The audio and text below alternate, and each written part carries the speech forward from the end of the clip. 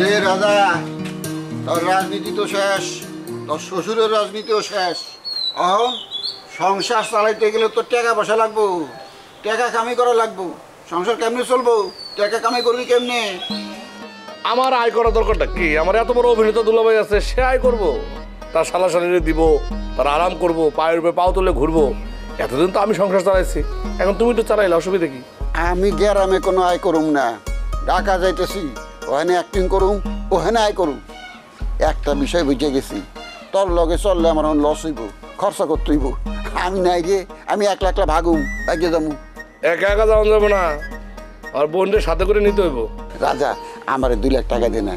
ঢাকায় যে একটা ভালো বাসা নিয়ে থাকে বোন যে বিয়ে দিছিস তো মাগ না। এক পয়সা খরচ খরচ নাই এক পয়সা যৌতুকও দেশ নাই। একটা অসল মাল রে আমার কান্দে তুলে দিছস। নগদে পাঁচশো টাকা বা তার বেশি পেমেন্টে পেতে পারেন ঢাকায় জমিসহ বিশ কোটি টাকার পুরস্কার। আমারে যে কথা কইলা এই কথাটা তুমি আপার সামনে দেখি কও। দেখি পারো কিনা। আপা! এই আপা! আসো দেখো তোমার জামাই কি কইতেছে। রাজা তোর বউ চলে যাওয়ার পর তুই কিন্তু প্রতিশোধ পরায়ণ হইছস। সব সময় আমারে ফান্দা ফেলানোর চেষ্টা করতেছস। আমি তোর লেগে কি না করছি? এই যে তুই এখানে খাড়ায় কথা কইতেছস সেটা কার লেগে? এই রমজানের লেগে? অন্ধকারে তোরা মাইরা জঙ্গলের মধ্যে ফেলাই রাখছিল। আমি কান্দে করে হাসপাতালে নিয়ে তোরে বাঁচাইছি। ওই সময় না বাঁচাইয়া যদি আমার মৃত্যু হইতো সেটা ভালো হইতো। পৃথিবীর যে যন্ত্রণা সেই যন্ত্রণার হাত থেকে আমি মুক্তি পেতাম। ভাইজান শামসু ভাই তোমার তার অফিস যাইতে কইছে। ডাকছে মানে? ডাকলেই কি আমার যাইতে হবে নাকি? এত সস্তা? আর কি মনে করে আমার সস্তা পাবে? সস্তাই তো। তোর এখন পদ নাই পদবি নাই। তুই তো সস্তা মাল। পদ না থাকলে পদবি না থাকলে মানুষের দাম থাকে না। শামসু আর বুলেট সামনে নির্বাচন করব। হ্যাঁ চেয়ারম্যান হইব। তখন তোর কোনো বেরই থাকব না বেটা। তুই হলে পেউ। দুলাভাইয়ের কথার সাথে আমি একমত। যে ভুল তুমি করছ সেই ভুলের মাসুল তোমার সারা জীবন দেওয়া লাগবে। কোনো মাসুল দিতে হবে না। আমার জীবন হচ্ছে সাদা সিধে জীবন। আমার জীবনে কোনো চাওয়া পাওয়া নেই। বোঝা গেছে জিনিসটা? এক তো সাদা সিধা মানুষ তুমি। তো সাদা সিধা দরকার কি? হান্ড্রেড পার্সেন্ট সাধু হয়ে যাও। লোকালয় না থেকে জঙ্গলে যাও। একটা লাল কাপড় ফইরা ধ্যান করো। হ্যাঁ ভাইজান তুমি দুলাভাইয়ের কথায় কষ্ট পাও না। তুমি আর ফাইজুল ভাই মিলা শামসু ভাইরে ইলেকশনের মধ্যে সাপোর্ট দাও। এখনও আমি এই ব্যাপারে কোনো সিদ্ধান্ত নেই নেই। শামসু আমারে যদি টাকা দেয় তাহলে আর পক্ষে কাম করুন বুলেট আমারে বিরাট অফার করছে বিরাট মানি। টাকা যে বেশি দিব এই পক্ষে কাম করুন দুলাভাই আপনি আর লোক হাসান না তো হ্যাঁ? রমজান দুলাভাই টাকা খামানোর জন্য ভোট দেয়। এই কথাটা শুনলে আমাকে ভালো লাগবো কোন? দেখ দুলাভাই কি করবে না করবে সেটা তার নিজস্ব সিদ্ধান্ত। এই ব্যাপারে আমি তারা কোনো বাধা দেবো না। ধন্যবাদ রাজা। অত্যন্ত সঠিক কথা কইছো বৈজ্ঞানিক কথা কইছো। এইবার পকেট গরম করে ফেলাম। যা ইচ্ছা তাই করেন।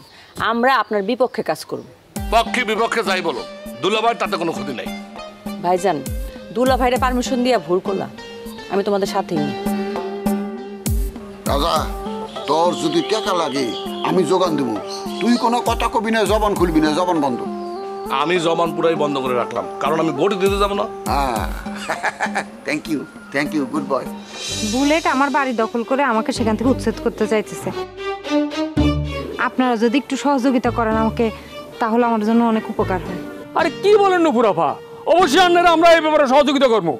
নগদে পাঁচশো টাকা বা তার বেশি পেমেন্টে পেতে পারেন ঢাকায় জমিসহ বিশ কোটি টাকার পুরস্কার। আব্বা আমরা চলেন। বুলেটটা এই ব্যাপারে দল বেঁকানোর আগে আমরা হাতের থেট মারে আসি। অবশ্যই যাব। মেলা ভাইয়ে সেই উঠছে। এ লেবু বিয়ার আশকারা ভাইয়া হ্যাঁ? ও ডগা কেলে সেইটে দিমু।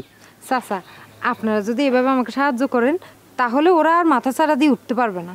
শুনেন নুপুরাফা আমরা সব সময় আপনার ভাষায় আছি। আরেকটা কথা বলি নুপুরাফা আজকে থেকে আপনি আমার শ্বশুরের আরেকটা মাইয়া। কি কোন আব্বা? এই নুপুর কেডা মোর মাইয়া। আর মুই ওর বাপ। মা তুই যা বাড়ি যা বাড়ি যা নিশ্চিন্তে ঘুমাবি হুম? যদি কোনো বিপদ আপদের আলাপ পাও তুই মোরে খবর দিবি এ বাপ হইয়া তোরে মুই রক্ষা হরমু তোর কথা দিতে আসি। চাচা আপনি সত্যি আমার বাপ আমি আপনাকে একটু সালাম করি। আমার বাপ বেঁচে থাকতে আমার আর চিন্তা কিসের ভয় কিসের?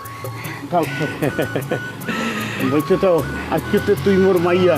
হ্যাঁ মোর লাভলি বাবলি আর তুই এর মধ্যে কোনো পার্থক্য নাই তুই মোর মাইয়া। শুনেন নুপুরাফা আমরা আপনার আপনজন। আমরা সব সময় আপনার লগে থাকব। মজদু ভাই কীভাবে আপনার ঋণ আমি শোধ করব বলেন? আরে না না কিন্তু কি এখন আপনার উপরাফা আমাদের কাছে কোনো ঋণ নাই। আরে ভাইয়ের কাছে বোনের আবার কিসের ঋণ? আর বাপের কাছে মাইয়ের কোনো ঋণ থাকে না মা। যা তুই বাড়ি যা নিশ্চিন্তি যাই ঘুমা হুম? তোর বাপ আছে তোর বাপ মরে জানে এখন বাইতে আছে। হ্যাঁ আমরা আছি। হ্যাঁ মোরা আছি। যাও। আচ্ছা আমি আসি। যা আচ্ছা। যা। যাও আব্বা হ্যাঁ। তাহলে চলেন। কমবে ওই যে বুলেটটা? হ্যাঁ ওই যে থ্রেট না কি যে বললা না? হ্যাঁ। তাহলে খারাই রে সুখীর চলেন হাতের বিরুদ্ধে কীভাবে কি করতে হবে চলেন এটা আলোচনা করি।